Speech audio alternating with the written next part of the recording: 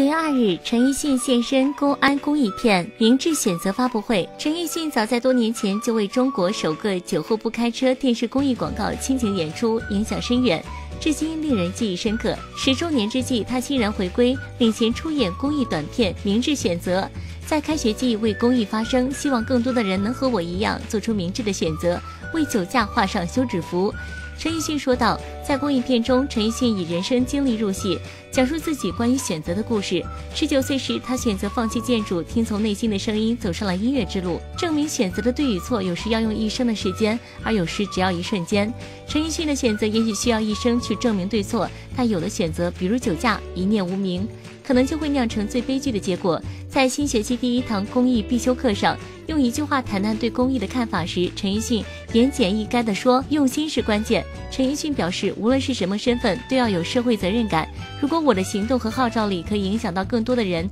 带来更多正能量，我会感到非常开心和荣幸。